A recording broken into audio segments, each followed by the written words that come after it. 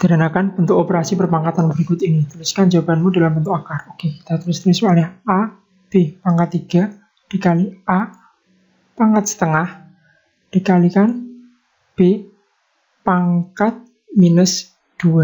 Nah, kalau ada soal ini kita harus tahu nih, apabila ada A pangkat N dikali A pangkat M, itu sama dengan A, N plus M.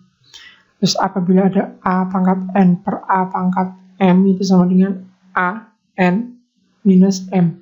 Atau apabila ada A pangkat minus N itu sama dengan A per A pangkat N. Oke, kembali lagi ke soal. Ini kita kelompok ini yang A. Berarti A 1 ditambah setengah. Sedangkan yang B 3 minus 2.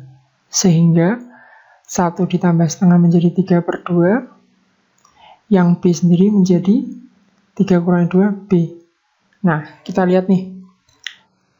3 per 2. Per 2 itu sama dengan akar, maka kita bisa tulis sebagai berikut.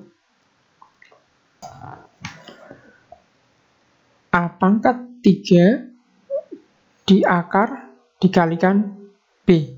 Atau bisa kita B kita kuadratin. Kalau B kita kuadratin menjadi akar